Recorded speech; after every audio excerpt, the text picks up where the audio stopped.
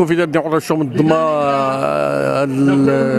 المسيرة اللي منعت الآن واللي تحولت إلى وقفة احتجاجية وذلك آه، للتسديد بهذا الغلاء الفاحش اللي كتعرفوا بلادنا واللي كتعرفوا منذ مدة هذه حيث أن بان الجميع أن اللوبيات الاحتكارية والريعيه اليوم أصبحت متحكمة في القرار الاقتصادي ببلادنا وفي قرارات أخرى وهذا بطبيعة الحال ادى وكيؤدي إلى أن المغاربة والشعب المغربي بصفة عامة كيعيش اسوء ايامه فيما يخص حياته اليوميه وقوته اليومي القدرة الشرائيه ديال شرائح آه، متعددة ضربت بشكل كبير. والغريب في الأمر هو أن الحكومة والدولة ما عندها حتى شي تصور ما عندها ما دارت حتى شي حاجة لوقف هاد هاد العمليات ديال ديال في الواقع آه، ديال آه، ضرب الجيب ديال المغاربة والاغتناء لا ديال البعض ديال شرائح وأفراد. اللي اليوم كيغتنيوا على ظهر المغاربة. وبطبيعة الحال هذا ما يمكنلوش يدوز. ديهم من القوى ديال التقدم والقوى ديال التحرر والقوى الديمقراطية والمناضلة نقابات وأحزاب.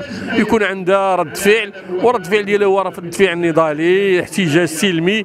لكن بالإضافة لعدم وجود تصور آه كنلاحظوا على أن الجواب الوحيد ديال الحكومة هي القمع وهي المنع وهذا بطبيعة الحال ممكن أن يؤدي بالمغرب إلى ما لا يحمد مع كامل الأسف. وهذه الحكومة اللي كانت الشعار ديالها هي بناء الدولة الاجتماعية بان لنا العكس أنها كتهدم الدولة الاجتماعية. ماشي كت ماشي كتبنيها.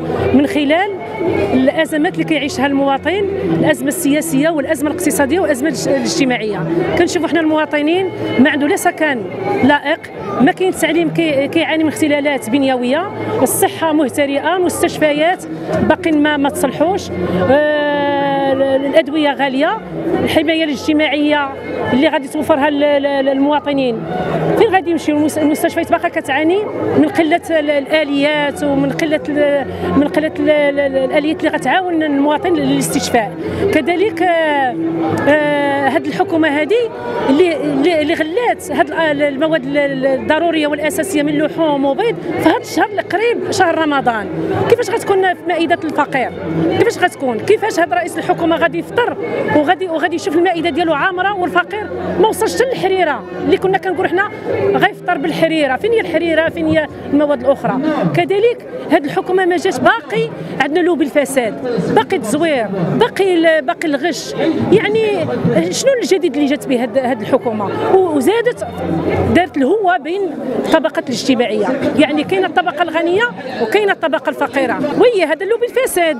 أن حنا حنايا المخزن. راه كيعرفك لا تغديتي كيعرفك باش باش تغديتي. كيفاش هاد الناس اللي كانوا داروا هذا المخزون هذا ما شافتهمش ما شافوش ما شافوش المخزن؟